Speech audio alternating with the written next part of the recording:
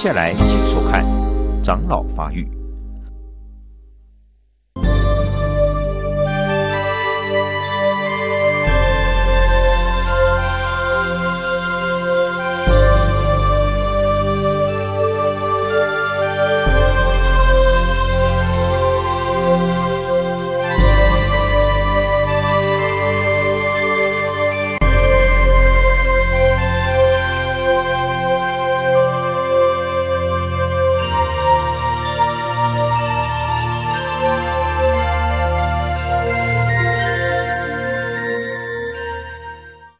各位善知识，呃，今天开始，我们来研究天台四教仪。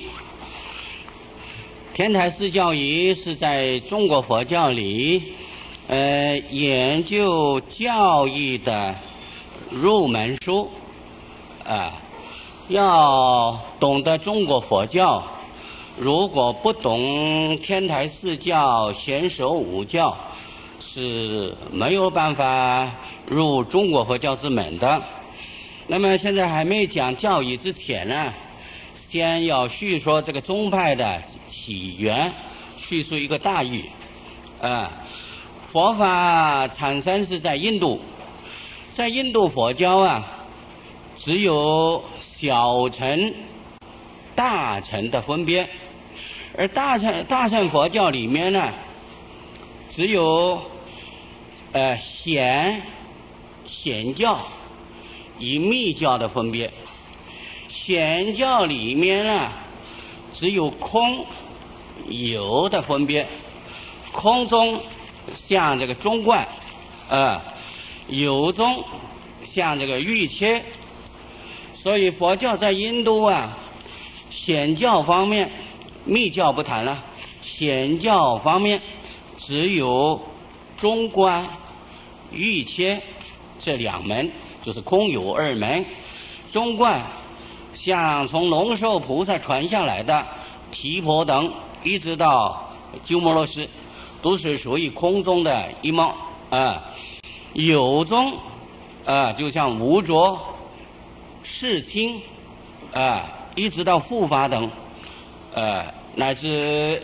玄奘三藏所亲近的戒玄戒贤论师，这都是属于有宗的一派。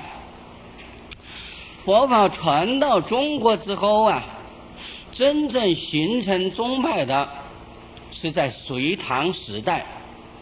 佛法是在汉朝，啊，东汉，也叫做后汉，呃，后汉的汉桓帝、汉灵帝的时候啊。佛法才真正传到中国，就是最早来翻译佛经的安世高、智罗迦谦，啊，从此佛法才传来中国。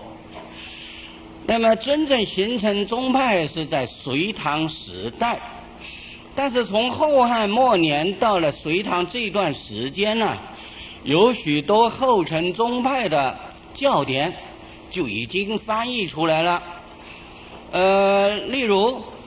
如果谈最早的话，安世高三藏法师所翻译的，属于毗昙方面的教典《阿毗昙》。那么当时弘扬阿毗昙方面的很多，实际上他们那个时候在弘扬的时候啊，并不在乎宗派不宗派的。但是后来到了隋唐形成宗派之后啊，所以有些也称。那个时候弘扬碧滩的叫做碧滩宗了，这个比较少人知道。到了东晋时代，由鸠摩罗什三藏法师翻译出来的三论，就是中论、百论、十二门论，啊，那么当时弘扬三论的后人就称他三论宗了。但是当时他正在弘扬的时候啊，弘扬的人并不在乎宗不宗。那个时候他没有宗派观念，啊，那真正三论宗的形成是到隋朝，隋朝，隋朝的嘉祥大师才成为大臣三论宗，可是从此也没人弘扬了。而鸠摩罗什不但是翻译三论，同时也翻译大制度论。当时有些人不但是弘扬三论，同时也弘扬大制度论。所以也有人称它是四论宗了。四论，中论、百论、十二门论，再加上大制度论，就称为四论了。所以弘扬这四部论的后人就称它叫做四论宗，也有这种说法。实际上在那个时候，他们是没有什么论呃宗不宗的。呃，鸠摩罗什三藏又翻译一部诚实论，啊，那么在当时弘扬诚实的也很多，那么后人也称它叫做诚实宗，啊，那除此之外，比如说净土宗念佛的，是在东京慧远大师是在庐山，东京庐山慧远大师那个时候提倡接莲社念佛，可是那个时候还没有形成宗派，后来到了唐朝成为净土宗啊。那么大家就啊以庐山慧远大师为所主了，但是那个时候并没有宗派的观念。而禅宗呢，禅宗是在南北朝的南朝的梁朝，一般认为是梁武帝的时候啊，达摩祖师来中国啊，那么就把这个所谓祖师禅啊，从此流传下来。但是在唐朝的六祖慧能之前。也还没有形成真正的宗派，不过到了四祖五祖啊，已经有点像这个宗派的样子了。但是到了慧能大师六祖慧能大师之后啊，那真正是成为禅宗了啊。所以那个时候有南能啊，北秀就是神秀大师，那么后来就是呃慧能大师最发扬光大了啊。有后世所谓一花开五叶啊，结果自然成。那么禅宗分为五个五个派系，呃，那么真正禅宗的形成也是在唐朝的慧能大师。那么除掉这个以上所说的这些宗派之外，实际上在当时啊，呃，南北朝的时候，有像这个呃菩提流支，菩提流支曾翻译啊。实地经论，在南北朝弘扬实地经论的当时人就称它叫做地论宗了，地论宗。呃，到了这个南朝的陈朝、梁朝末、陈朝，有真谛三藏，真谛三藏曾翻译《十大乘论》，《十大乘论》那个时候弘扬《十大乘论》的后人也称它叫做十论宗，十论宗。而南北朝的初期，也是东晋末的这个五胡十六国的最后一个北凉，北凉时代的昙无天法师，他翻译《大波涅盘经》，那么就是以前讲的那个《优波塞戒经》的翻译的那一位法师。他翻译《大波涅盘经》，就是简单叫做《涅盘经》了，大乘的《涅盘经》。这个《涅盘经》翻译出来之后，弘扬涅盘的很多了。所以在南北朝的时候啊，也有人称他是涅盘宗了。但这三个宗派啊，后来都没有流传下来，都并在其他各宗之中。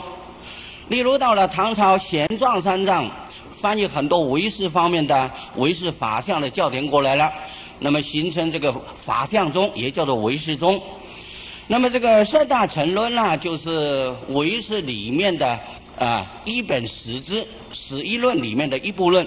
啊，那么因此，这个释论宗啊，到了唐朝的呃法相宗兴盛起来之后，释论宗就并合并在法相宗里面了，合并在法相唯识宗里面，所以这个表上写的释论就划到这个法相宗里面，因为这个十大乘论只是唯识家六经十一论之一，那么因此合并在唯唯识里面弘扬，没有另外建立宗。所以叫做社论就并归于法相宗了。到了这个隋朝末、陈朝这一段时间，天台智者大师弘扬天台宗，啊，那么天台认为涅盘经的教义啊，与法华经的教义是相等的，因此把这个法华涅盘同为一时。后边讲五十八教就会讲到了。那么因此，这个南南北朝弘扬涅盘经的，也没有单独弘扬了，也就成为啊这个天台宗的一支了。所以涅盘宗后来就合并在天台宗里面，天台宗里面那么没有另外弘扬涅盘的了。至于地论中，所谓实地经论，实际上啊，就是华严经的实地品，华严经的实地品，实地品单行流通啊，就叫做实地经。而当时有这个十地经的论，呃，释迦菩萨造的十地经论，有这个真谛三藏翻译过来流传很普遍。那么当时人家称它叫做地论宗，但是到了唐朝，贤首果实成成立这个贤首宗，也就是华严宗了。那么这个地论既然是属于贤首华严里面的一部分啊，所以地论宗也就合并在贤首宗里面了。所以如果要把它一一都啊平排起来的话，就有十三个宗派。但是这个摄论、涅盘、地论三宗都并归于法相天台贤首，所以后来到了唐朝啊，中国佛教只有十宗了，十个宗派。那么其他还有密宗，密宗啊是在唐朝开元年间啊，唐玄宗开元年间啊，所谓开元三大士，善无畏、金刚智、不空三藏。他们三位修密的大德到了中国来弘扬密法，从此就有密宗了。但是在中国佛教里面呢，密宗并不兴盛。后来传到日本，惠国欧谢里传到日本，所以中国的密宗是传到日本，日本才有密宗的弘扬。在中国只是剩下一些杂密，啊，那么传到日本的就叫做东密，在西藏的叫做藏密，这是属于密宗方面。那么这些。宗派早期流传下来的陈始宗，后来还是保存的，不过真正弘扬的人很少。居舍宗实际上居舍论呢，陈朝的 真谛三藏也有翻译居舍论，叫做居舍释论，也有有人弘扬，但是没有成立宗派。到了这个唐朝的玄奘三藏法师翻译这个居舍论，那么有他的弟子普光啊法宝。这两位法师大力弘扬这个居舍论，那么就成立这个居舍宗了。那么一般说，居舍宗跟陈实宗啊，认为是小乘佛法，是小乘的；认为居舍是小乘的有门，是有宗；陈实是小乘的空宗，讲空的。不过在南北朝正在弘扬诚实，一直到东晋这这段时间弘扬诚实的。并不把诚实看作小乘，在那个时候，一般弘扬诚实论的人呢，认为诚实是大乘，是大乘。后来到了唐朝啊，一般认为这个诚实里面所讲的理论虽然讲空啊，但是不是讲般若的究竟空，因此把它啊认为是属于小乘的空中了。那么这些宗派大致都说过之后啊，还有一个戒律宗。实际上在佛教里面呢，戒是不能分宗的，因为戒无论哪一个宗派，只要是佛教徒，没有不持戒的，所以应当戒不能建立另外一个宗派。但是戒律有戒律的专门学问，专门研究戒律方面的主持戒法的，好像是国家的这个司法机关。那么因此啊，另外就建立这个戒律宗。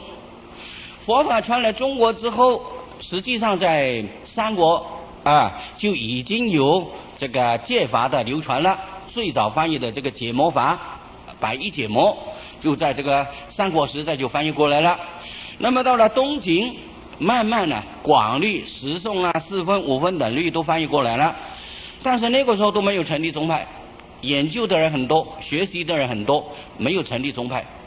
一直到唐朝啊，以玄奘三藏同时稍微早一点，也曾参加过玄奘三藏的一场的啊道玄律师，道玄律师才建立这个律宗，建立律宗。因为当时弘扬四分律的有三家，后来其他两家都不行了，没有流传下去。只有道宣律师，他用大乘的法相唯识的教义啊，来融会贯通戒律的小乘教义，因此之故啊，他才能够流传下来，呃，一般说中国人是个大乘根性，大乘根性，所以如果单说小法呀，很难通的。呃，道玄律师知道中国人的根性啊，就以大乘佛法呃融会贯通于四分律，所以他认为四分律当不是在小乘佛法，但是分通大乘，分通大乘佛法。那么由此到了唐朝的道玄律师才形成这个。啊，戒律宗，戒律这一宗啊，才成立起来。那因为他住在终南山，所以后人也称他叫做南山宗。南山宗，啊，所以这个弘一大师有一个对联写的写的说：“有眼见南山。”他见的南山不是见那个呃四川这个呃所谓长安的附近的那个终南山。他所谓有眼见南山呢，就是见到南山，就是戒律。就是律宗，所以后来普通一般呢，就是以南山来代表中国的戒律，因此也叫做南山宗。但是我认为啊，还是老实称它叫做戒律宗比较适合，或者单称律宗，这是专门弘扬戒律的啊。后来就变成单是传戒了啊。那么戒有没有把戒律研究好，那是另外一回事。呃，只是主呃这个主持传戒的那些大德都被认为是律宗的了。呃，现在也不呃也不这么说了。那么这是属于中国佛教的始宗。平常说的中国佛教有十个宗派，就是呃纯粹属于大乘的有七个宗派，戒律通于大小乘。大小圣啊，呃，居舍于诚实是属于小圣。现在从今天开始讲的都是属于教理方面，研究中国佛教的教理。这个教育方面呢，那就不比从前讲的都是一些四相法门呐，听起来比较好懂。如果不用心听啊，就有的时候不容易不容易通的啊，要好好的注意听才行。那么上面是先大概的把中国佛教的宗派，呃，大致叙说一下。那么既然有这么多宗派，我们现在为什么要讲天台宗的四教义呢？这是因为啊，虽然有这么多的宗派，在中国佛教里面弘扬最盛的、最流行、最普遍的教义方面有两个宗派。啊，从隋唐以后，一直到近代，教育方面讲讲究教育方面的研究的教理的，有两个宗派，就是天台宗跟显首宗。显首宗也叫做华严宗，天台宗也可以叫做法华宗，以他的所宗的本经而立名。教育方面是天台显首两宗最有名、最普遍。啊，那么对于修行方面呢，是禅宗与净土宗最普遍，啊，所以在中国佛教的出家人呢，所有的寺庙丛林差不多都是禅宗的天下，啊，所谓林半天，草一角。中国佛教的禅宗分个五个宗派，临济宗占了中国佛教的半个天下，占了半个天下。中国佛教的出家人有一半是临济宗的子孙，临半天。曹是曹洞宗，曹一角，曹洞宗啊占中国佛教的四分之一，四分之一，啊，就是临半天，啊，临济宗占了一半，啊，中国佛教的一半天下。那么其他一半呢？曹洞中占了其他一半的一半，所以叫做曹一角。啊，一个角就是四分之一，曹洞中占了四分之一，剩下还有四分之一就是其他各方面的了，啊，这是一个大概，啊，因为在中国佛教的禅宗的宗派里面呢，最先盛、最普遍，并不是说临济宗的这个修禅的人最盛最多，而是他的派系一代一代传下来呀，在中国佛教的禅宗啊。五个宗里面，五家里面，禅宗五家里面呢，只有临济宗一脉相承呐，一直到今天，那个从这个临济玉贤禅师一直流传到今天，一代一代一代传下来，没有对没有间断过，没有间断过。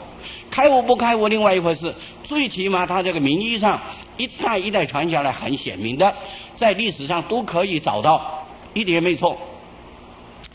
曹洞宗算不错了，也能流传到今天。可是曹洞宗啊，有一段时间也是模糊不清，啊，这中间有六代祖师发生争论，啊，后人争论了，不是祖师在争论。后人认为这个六这六位祖师啊，呃，是不是在传曹洞宗引起的争论？但是在那个时候是没有争论。那么因此可见，这个曹洞宗曾有一段时间沉寂下来，不甚流通。那么后来还是继续下去了，啊，例如说大陆的丛林，啊，像古山，啊，那么完全是属于曹洞宗的宗派，所以在台湾佛教有好多都是鼓山传来的，啊，福州鼓山涌泉寺传来的，台湾的出家人呢，曹洞宗的宗派并不算少，啊，我也是属于曹洞宗的呃派下之一，啊，那么临济宗也很普遍，临济宗也很多。啊，所以因此之故啊，呃，在这个宗派方面是禅，呃，它的一代一代相传到今天没有停止过，都一直流传下去。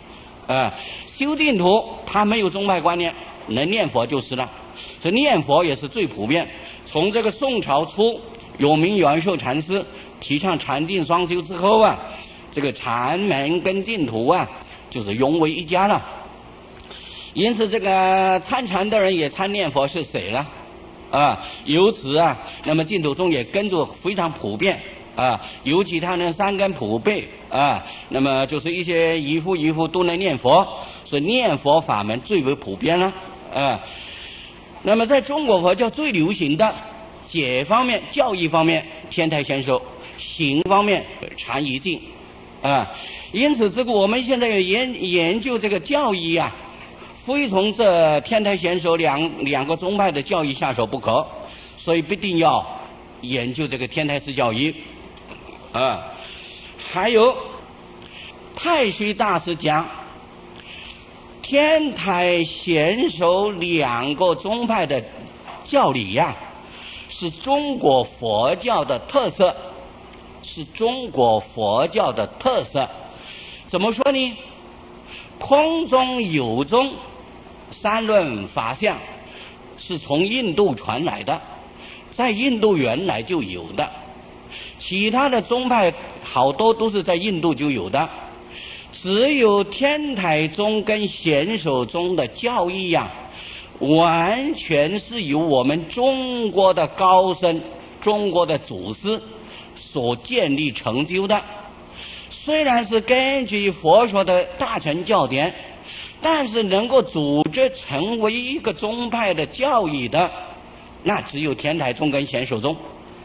因此之故，我们要研究中国佛教，非研究这两个宗派的教义不可，否则你就没有办法懂得中国佛教。因此之故，我们现在就先研究天台宗。一方面，啊，我是从天台那边学习的，最早是先学天台。所以天台可以说是我自己的本宗啊，最初学的是这门，所以我比较熟。我现在就先讲这个天台四教仪。那么这是，这也是一个意义。另外还有一种原因啊，我们需要研究天台，呃，先说的教义的原因，就是因为我们如果要研究中国佛教的所有的经论著述。经律论三藏教典的著作，古代的祖师的注解呀。假如你不懂得天台的五重玄义，所谓第一是名，第二贤题，第三明宗，第四论用，第五判教相。天台中解释经文呐，都用这五重玄义。啊，第一就是解释经题的名目，啊，第一是名。第二就贤题，显示经的离题啊。第三明宗，说明修行的宗旨。第四论用，说明这部经的的功效。第五判教相，判定这部经是属于哪一种的教相，是顿是渐，是圆是偏啊。那么，如果你没有研究天台教义，四教义不懂，那你拿起天台家的著作，看到那些五重选一呀，你一看就头痛了，啊，所以有人说经文原文都好懂，看注解反而难懂了，注解比经文深，原因在哪里呢？因为他写的注解呀，都是根据这个天台先生的教义的。假如是天台宗的法师的注解。你们不懂得这个五重选一呀，那你看不懂，啊，所以必定要懂得天台宗的教义，才有办法看懂天台的所有的著作，无论是经论。那么贤守宗贤守法藏大师，啊，他大乘贤守宗，应当是华严宗了，以华严经为宗。那么这个华严宗他解释经经论呢，是用十门玄谈，用十门玄谈。他这个十门玄谈呢，例如说，第一教起因缘，呃，第二藏圣分摄，呃，第三义理分歧，第四教所备居，第五教体浅深，第六中趣通局，第七部部类品会，第八传译感通，第九。总是名题，第十别解文义，这个叫做十门闲谈。贤守家解释经论，他无论解释哪一部经啊，都是用这十门去分辨，都是十门闲谈。假如你不懂得贤手中的教义，你一开始看到这个十门闲谈呢，就头大了，根本就看不懂，啊。尤其讲到这个藏圣分摄、义理分歧，呃，教所背居，呃，教题深浅深，那更是难懂，真是跳到大海里面去呀，啊，那不得了了，爬不出来，啊，又像入了这个迷宫里，所以必定要研究这个天台贤手两宗的教义，这些教义你都懂了，然后看古代的经论著书，才有办法看懂，啊。那么天台有四教仪，贤手也有五教仪，就是贤手五教仪啊。如果有因缘的话，呃，天台四教仪研究完了，也不妨研究贤手五教仪。不过贤手五教仪比起四教仪来啊，难懂得多啊，因为贤手家讲的教理差不多都是圆的，圆的啊。既然是圆的，无论站在哪一面看都是圆圆的，啊，很难找到它的门路。所以因此讲天台五教义很辛苦。我在佛学院里曾讲过两三次啊，我自己都讲得头大了。有的时候啊，究竟讲到哪里，呃，圆呢是站在哪一面看圆都看不清了，嗯。因为他这个教育虽然是黄布不爱圆融，圆融不爱黄布啊，可是有的时候你只是在看着这个圆融方面就很难懂，他是讲圆的，嗯，那么因此学起来就比较困难，也许以先先入为主有关系，因为我初学的时候啊，学的是天台，我觉得天台的教育的组织啊，他那个组织很严密。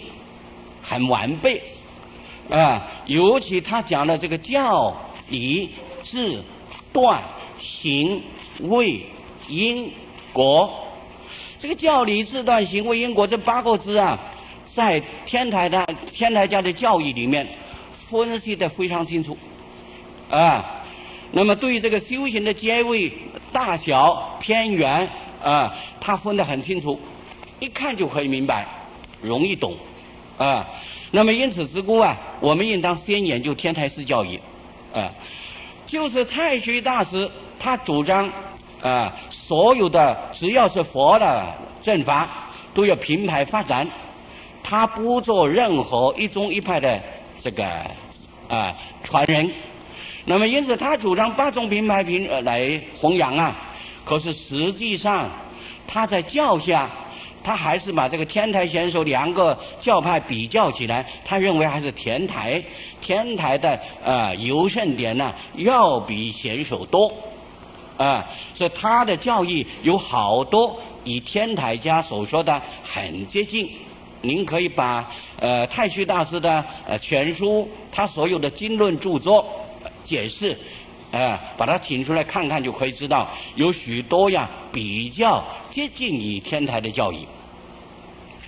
上面是先大概的叙说，啊，天台家的教义站在中国佛教的呃分量上啊，它有很重要很重要的地位。啊，假如我们不研究天台教义的话，对中国佛教根根本就摸不到门路。那么，因此，我们既然要研究佛法，从解门下凡功夫啊，必定要先从天台四教义下手。或者说，天台入门书难道只有这一本吗？有没有其他的？有的。另外还有一部偶一大师的《教观纲宗》，那也是入门书。不过教观纲中啊，呃，当然他说的天台教理是最正确的了，但是入门的那些名相啊，天台的教理的名相，教观纲中里面就比较简略，没有充分的发挥。如果能够先把天台四教义研究好了，再看教观纲中，或者是把教观纲中合并在。四教里四教义里面同时研究更为清楚。我在佛学院里面讲课的时候，我也曾有一次啊，把天台四教仪跟这个教观纲中两本书对照起来讲说啊。不过这个学的人呢，会觉得很烦啊。两本书对照起来，两边两边的说法，一要一一要把它汇通啊。碰到这个考试的时候，他们的头就很大了。很辛苦了，所以后来我又不敢再这样讲，只是按照四教一讲啊。因为到了这个末法时代啊，众生的根性实际上又差一点。有人这样问我，他说：“这个经文本来就很浅的，为什么那些祖师们呢解释这个经文的时候要讲的那么深呢？”举例说，像这个《阿弥陀经》，《阿弥陀经》看起来文字不深嘛，很浅嘛，很容易懂啊。我们一读大意也就可以懂了。可是你看看明朝末的三位解释《阿弥陀经》的呃这个最有名的大著，你看看莲师大师的《阿弥陀经书抄》，他那个十门闲谈，每一段都有事有理，每一段消文释义之后都有闲理，啊，讲的简直不得了，啊，只有两千几百字的《阿弥陀经》啊，他把它解释，啊。一个大部头的书，啊，几十万字，可怕！你一看就头大了。天台家解释《阿弥陀经》最有名的有两部，一个是明朝末的游西大师、游西传灯大师的呃《阿弥陀经略解》圆中抄，这个圆中抄也是好难懂的，都是天台教义，呃，看起来也不懂。应当比较简要的是偶一大师的要解吧，《阿弥陀经要解》。可是要解里面有好多天台教义，如果你不懂的话，还是照样不懂，啊，所以啊，呃，如果你没有研究这些天台教义，看那些东西实在是没办法懂的。那么那些祖师们他为什么要这样子深讲呢？浅经深讲呢？你要知道，在那个时候啊，他非这样讲不可的，因为在那个时候，例如智者大师他讲《法华经》。只讲《妙法莲华经》五个字讲了九十天，那个时候讲经如果不这样讲的话，那些听经的人就觉得没有味道，啊，味如绝了，没有味道。因为那个时候听经的人都是很有研究的，教理相当研究的，都是深入的，啊，所以他必定要深讲啊，听的人呐才听得味道出来，啊，所以他必定要深讲，一直到明朝。教理还是很普遍的，啊，一般研究教理的人呢，无论在家出家，对教理都都是很懂的。所以，如果他讲经的时候不用五重玄义，不用十门闲谈，他会说你是个门外汉，不懂得讲法，会变成这种情况。所以在那个时候，他必定要深讲，啊，在那个时候是应激说法，需要深讲。可是现在不不同了。现在在这个时代，如果你讲经一开头就搬出五重玄义、四门闲谈，好了，我看这些听众都要跑光了，谁来听啊？据说，呃，大概是才光复的时候吧，民国三十五六年吧，啊，听说那个元音法师啊，在上海的圆明讲堂讲《金刚经》，啊，究竟是光复后还是光复前，这个时间记不清楚了。总之是在民国时代啊，元音法师讲《金刚经》，有一个在家居士啊。他从开始学佛就是每天呢受持《金刚经》，一天最少要读诵一遍《金刚经》，这是他的修持法门。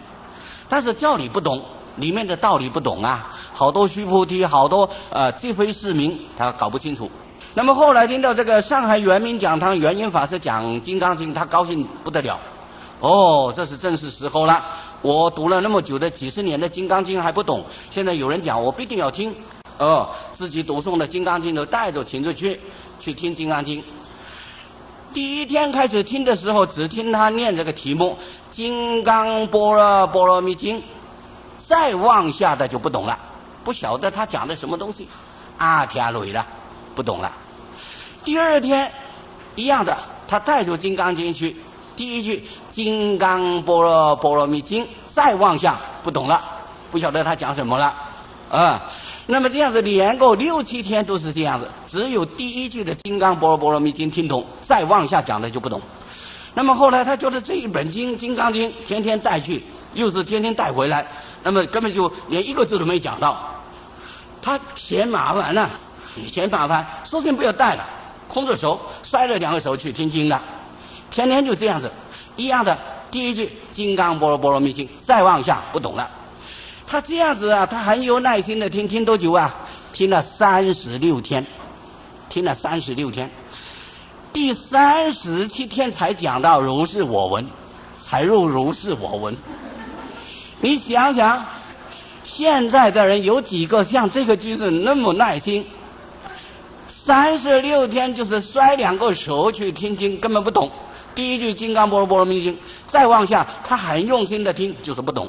可是他没有度孤哦，他并并没有爱困呢，他很用心的听，就是不懂，不晓得他讲什么，并不是话语不懂，而是道理不懂，啊，简直是好像这个呃幼稚园呐听大学的呃教课一样。我看现在的人如果叫他这样听，别说是三十六天了，恐怕三天也耐不住啊，啊，下次谁也不愿意来了，啊，那么因此这个我。嗯，近几十年来，我虽然是讲经讲了好多啊，我很少啊用这个呃玄谈的方式，不敢用。我恐怕人听众啊一听就听跑掉了，以后我们讲的没有人听啊，那真是这个生意做不成了，真真糟糕的事情啊！谁也不愿意做这个蚀本生意啊。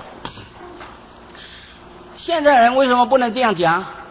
真正懂得教理的太少了，太少了。所以这些教理呀，除掉在佛学院里面讲讲之外，普通一般讲经是拿呃派不上用场的。为什么？您在佛学院讲啊，学生他是来研究教理的，他是来读书的，而且进了这个教室门呐，他不能随便自动出去的。听不懂，你宁可坐在里面睡大觉也可以啊，可是不能不能跑出去，这强迫他们听。懂不懂？他非听不可，所以只有在佛学院里面呢讲讲这些高深理论。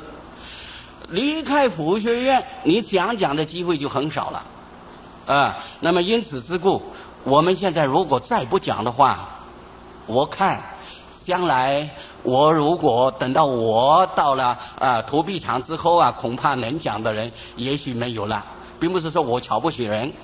现在真正往这方面下功夫的人呢，我看真是凤毛麟角。现在讲到这里，我要开始讲了。开始讲，我第一还没讲之前，还是向各位呃这个来参加听的，无论是在家出家的呃大德们，要求一句啊，你的耐心啊，像那位刚才说的那位听《金刚经》的居士一样啊，耐心听下去。但是我不会天天只有《金刚般若波罗蜜》，也不会只是天台式教仪，必定会有一部分呢。使你能够听懂的，大家要耐心听下去。假如你不听的话，你没有机会学了。呃，我说句老实话，这一类的教理，我如果不讲的话，现在能找到真正在讲的人呢，恐怕很少。并不是说没有会讲的人，有人会讲啊，他没有这个时间，他没有这个时间讲。纵然有这个时间呢，他没有这个听众，没有这个听众，没有听众你怎么讲啊？讲给这个桌子凳子听，他根本更是没有时间了。所以因此之故，希望各位啊要耐心，好好的学啊，因为这是基础佛法，佛法的常识，不懂不懂就中国佛教就没有办法懂啊。有一位居士啊，最近写一封信给我，他说现代人学佛很奇怪。自己本分是不下功夫啊，尽在外边东跑西跑的啊，舍本逐末。他的意思是说，我们中国佛教可以学的东西太多太多了，尽我们一生学不完。可是他们不往中国佛教学，他学什么呢？啊，学的什么？呃，这个藏文啊、巴利文啊、梵文啊，啊，或者是学英文啊、学外文啊，啊，他学巴利佛教、巴利文的佛教啊。嗯，中国佛教他就不懂。他学这些东西对他有什么作用啊？啊，他写信跟我讨论这个问题，啊，所以可见现在人呢，他就是差不多是世间人都是喜欢好奇的，好奇的。他看这个中国佛教的这个方块字的经典呢，摆在藏藏经柜子里面呢，他觉得这个没有什么稀奇，很平常，啊，他要看看那些横着写的摊还下呀，啊，横着写的文字啊，他觉得特别有有兴趣。啊，讲到这里，我要奉劝各位啊，中文不要横着写，唔谈贪管写，中文呐必定要竖写，竖写由右到左必定竖写。如果中间没有夹杂洋文，中间没有夹杂 A B C，不必横写，不必横写。现在你买笔记簿子没有买竖写的没有了，已经没有了，都是横写的，所以可见现在人心横的情况啊。连字就不肯竖写了，都要横写了啊！世界上的动物只有啊螃蟹、抹黑呀啊，它是横行的啊。但将冷眼看螃蟹呀，看你横行到几时？古人说说的话，只有螃蟹是横行的，人家抓到了就下锅了。我们中文不是不是螃蟹，必定要竖写，必定要竖写，绝对不要横写。啊！我一看到这个或者写信啊，或者写笔记要我改啊，我看到横写我就不看了，我不想看，啊，因为这是洋人，啊，与我们不同种，不愿意看他的东西，啊，而且这个中文的文字啊，竖写很可以分得出来，不会发生错误。横写有的时候一个字可以看成两个字，你不相信你细看。因此是故我们这个中文不要横不要横写。一定要啊竖写，不要把我们这一点的中国文化把它丢掉了啊！要好好的把它保持下去。中文必定要竖写，不要横写啊！言归正传，现在我们要讲天台式教育了。真正要讲天台式教育呀，应当是要从这个序文讲起啊！现在就各位把这个天台式教育的课本打开啊！呃，这篇缘起呀，先说明天台四教仪的发源来源呐。为什么在中国佛教里会有这么一个天台四教仪的这本书出现世间？它这个原因啊，在这篇序文里面说的很清楚。啊，我平常讲这一类我是不讲的，但是这一篇序文呐。与后边的四教仪的正文有关系，有关系。因此之故，这篇序文还是要讲啊。现在还是从这个序文讲起，就是一开头第一面啊，四教仪缘起。这篇序文就说明这个天台四教仪有什么因缘。会有这部四教仪流传世间的经过，所以叫做天台四教仪的起源呐。不过这一篇这个序文呐，这个缘起是谁写的？写的人没有留名，没有签名留下来，不晓得是谁写的。不过看这个文字啊，总是在宋朝之后。宋朝中叶以后，不会超过元朝、明朝，可能是宋朝中叶以后的人写的，就是从北宋到南宋啊，可能就在宋朝这段时间。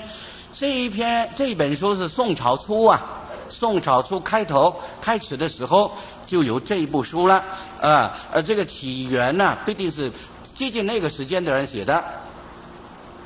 宋修身史生同赞宁通会路云，这是这一篇序的开头一句话。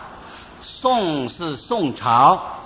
宋朝专负责任编写高僧传之类的僧的出家人的史传的，啊，他专修就是治理了，是编写了，编写这个史传生啊高僧的史传的，就是有一位做僧官的，这个叫做僧童，僧童是当时帝制时代的僧官。有僧路师啊，有僧童啊，统领整个僧团的叫做僧童。赞宁就是这位僧童的名字，这位僧童的名字，他的名字叫做赞宁。赞宁这位法师非常了不起啊，那他的学问啊，就是世间普通一点一般的大学问家，有的时候还不及他，是一个大学问家。赞宁法师这个人，就是写《高僧传》第三集，啊，呃，宋高僧传，写《高僧传》第三集的这位法师，他是宋朝初年在弘扬佛法，一直到宋真宗，宋真宗咸平二年，西纪西历纪年的九百九十九年，距离现在是。九百九十多年前的人，将近一千年前的人，他在西晋的九百九十九年圆寂，他住世间的时间有八十二岁，啊，那么关于他的这个呃编著这这一部啊，他的编著经过，还有这一篇序的缘起的情况啊，呃，我们留到下次再讲，今天就讲到这里为止啊，下口。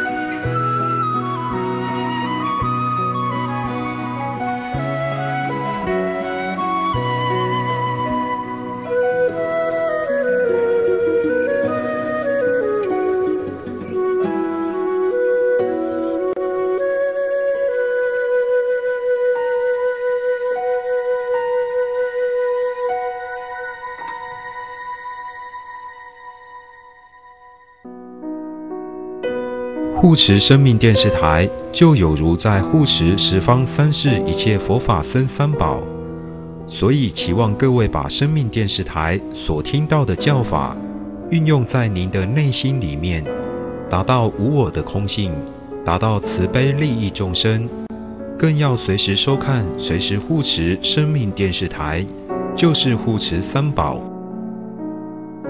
护持账号：一九九六五二三二。一九九六五二三二。 户民生命文化基金会。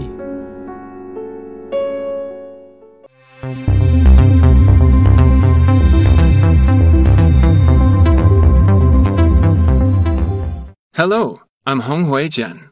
We encourage you to download the Taiwan Social Distancing app to help with COVID prevention. If you've been in contact with a confirmed case, the app will send a notification warning you to monitor your health. If you are a confirmed case, don't worry. Information uploaded will reveal no personal data. Using the app requires no login. Just turn on your Bluetooth and allow the app to send notifications. If the app shows a running clock on the home page, it is recording your contacts. Users can also check any contact with positive cases. The Taiwan Social Distancing app helps protect yourself and others. COVID prevention starts with you and me.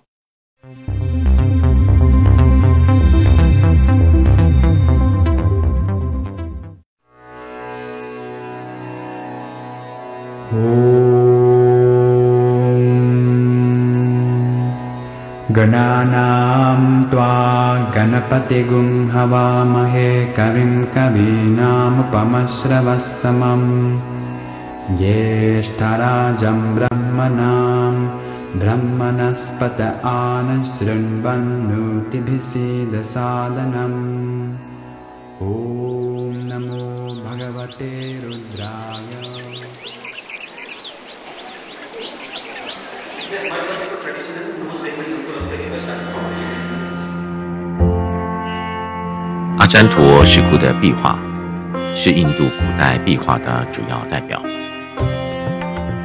早期的壁画最古，第九窟前壁残迹中会有佛陀传和佛本身故事。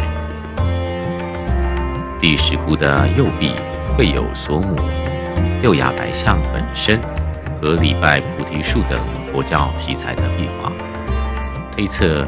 约作于公元前世纪。此期壁画的构图大多为横幅长条形，所表现的人物和生活场面，与约公元前二世纪的帕鲁德、桑奇大塔等石刻佛教遗迹相似。阿占陀中期的壁画更为辉煌壮观。精美绝伦。当时正值几多王朝与古典主义文化的黄金时代，佛教美术也达到了鼎盛期，创造了大量几多式的雕刻绘画。随着古风艺术逐步发展到古典风格艺术，画面构图更为壮阔，往往一面墙壁。被一个场景所占满，布局紧凑和谐。此外，第十六窟中佛教故事中的难陀皈依、舍卫城显大神通和善身施舍等，也都十分精彩。例如第十六窟难陀皈依中，难陀与妻子孙德利分离的部分。充分展映了艺术家对于人物内心刻画的成功。又第十七窟，太子与嫔妃劝酒图，极尽燕婉之情状。临窗窥视的侍女和门外众多的美女，都风姿绰约，艳丽动人。此时期各窟的前廊、天井和列柱。所存的装饰壁画也都设计奇妙，想象丰富，色泽鲜艳，对比强烈，如卷云、蔓草、莲花和一些可爱的小动物等。阿占陀晚期的壁画，基本属于七世纪前后的作品，其中最重要的是第一、二两窟。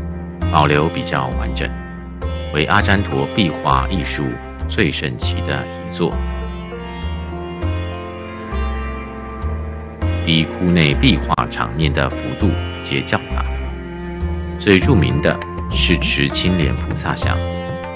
妙相庄严，头戴宝冠，肌肉匀称。窟内钱币的波斯使节来朝图，则反映了印度和波斯聘问通好的场面，具有很高的历史和艺术价值。绘画风格也受到伊朗美术的影响。第二窟时代最晚，其前廊壁上与藻井等处都有壁画。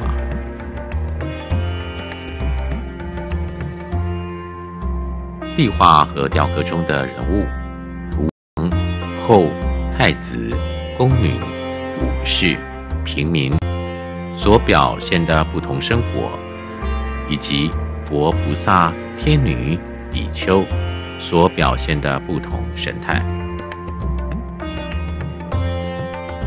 在造型上，我能传出内心情感，刻画生动。阿占陀壁画和雕刻的优秀艺术，不仅对后来印度的美术产生了巨大作用，而且对于东方佛教所曾传播的国家和地区，也产生了深远影响。如中国莫高窟的壁画。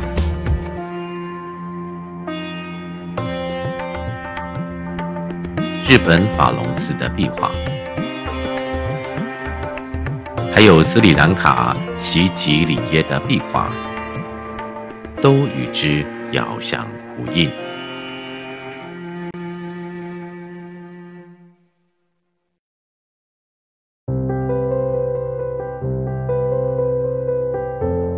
印经功德殊胜行，无边胜福皆回向，普愿成利诸众生。